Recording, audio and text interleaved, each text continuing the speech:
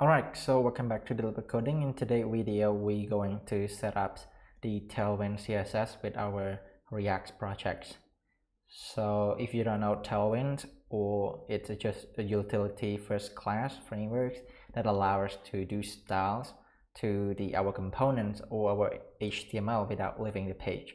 There's uh, you can check out the document more about Tailwind if you haven't heard about Tailwind yet. So and also there's a great tutorials for you know, how to use Tailwind as well. So for this tutorial, I'm going to show you how to set it up with the uh, React. So let's get started. Alright, so here I'm using VS Code, so you can use any text editor you want. So here's a blank React apps uh, that I'm using uh, Create React app to generate this one. So the first thing first that you need to do is to install the Tailwind into our projects. So you need to run this command right here. So we need to install the Tailwind and also the post CLI and that be able to convert the tailwind to uh, into the css and also the auto prefixer that's going to generate the WebKit or Mozilla prefix in a forward CSS and you can see right here I'm specify the version of it. So because uh, if you don't do this it well, it's going to fail when we do the uh, uh, compiles the tailwind all right. So so you need to run this command. You can get it from the description. So next what we need to do is to run npx tailwind css conf uh, init. And then you need to specify dash full so for this one it's going to generate the our tailwind configs uh, that you can see right here. There's a themes and that you can customize and change this one so next we want to uh, create the styles. So the style the place where the tailwind is going to be located so the tailwind css and also the where and also the main css i'm gonna explain why we need this too so then we need to import all right so we need to import uh, the tailwind right here into our uh, tailwind.css so then uh, we need to uh, compile this one to our main.css. So the way that we do that, we're going to use post CSS. So I'm going to create a file called post css.configs.js.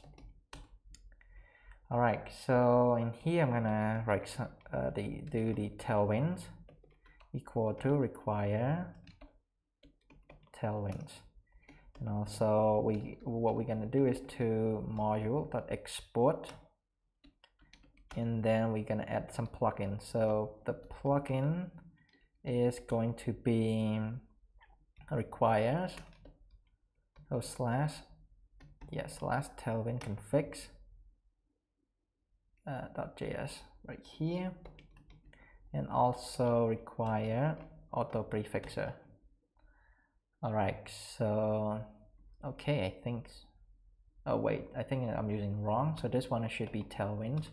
So the tailwind here need to get the tailwind configs all right so this one is going to be css and okay. So then what we need to do is to compile this one into the main.css so what we can do we go into package.json and we write some script to do that.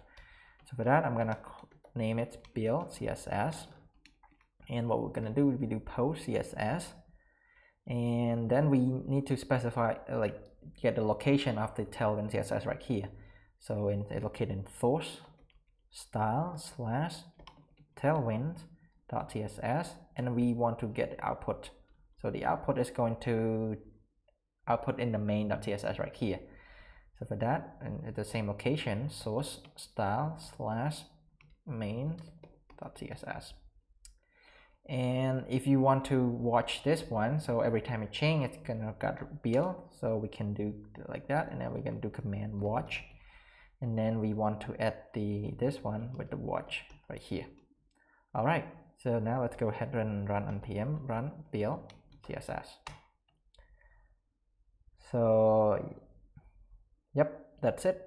So it's now it's uh, finished so if we go back into the main.css, we can see it uh, generate uh, compile to this one. And also next what we need to do is to go into our index.js I'm going to remove index.css right here. And I'm going to import from style. So import style. So style and then we do main.css so then we can use it in our application.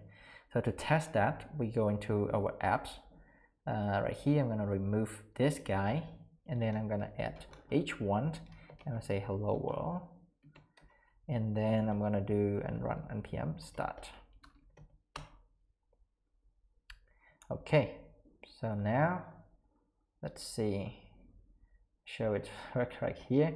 So we can see that a hello world right here. So let's see one uh, and then I'm gonna do class name and then I'm gonna do text 4xl and then we want to do the font bold and now if we go back as you can see it's font bold so it works. So yeah i think that's pretty much it for this video and i hope you find it helpful. And probably in the next video i'm going to do more related tailwinds with the react. All right so see you guys in the next video. Peace